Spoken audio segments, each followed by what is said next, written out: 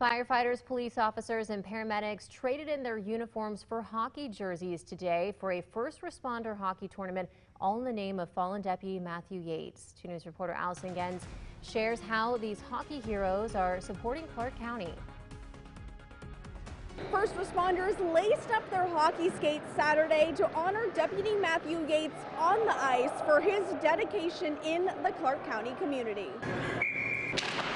When we come out here and play hockey, we usually pay our own way, and every time we hit the ice, it's for a specific reason. That specific reason this time to honor fallen Clark County Sheriff's Deputy Matthew Yates. He was a beloved member of the community, uh, an awesome guy to know, awesome police officer. Um, and so we really just want to repay that uh, respect. The Dayton Fire hockey team worked with the First Responder Face-Off Foundation to put together the Deputy Matthew Yates Memorial Classic at the NTPRD Chiller in Springfield Saturday.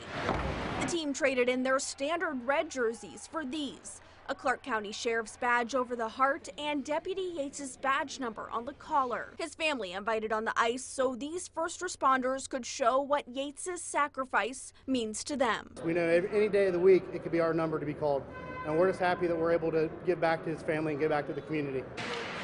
Even the visiting team says it was a little competition for a good cause. If we can offer some sort of relief to the family and let them know that the community, not only down here, but all over the state of Ohio, is with them and let them know that we support them in any way we can. All the money made from donations, raffles, and commemorative pucks at the game go toward a scholarship fund in Deputy Yates' name at Clark State University for high school seniors who plan to pursue a career in law enforcement. You'll see on the scholarship it's uh, selfless compassion, love, and good humor are some uh, things to note, and that's exactly the type of person he was. Even after the game, Hockey Helping Heroes is continuing to accept donations and raffling off one of those special jerseys for Deputy Matthew Yates' scholarship fund. For more information, find it in this story on our website, WDTN.com.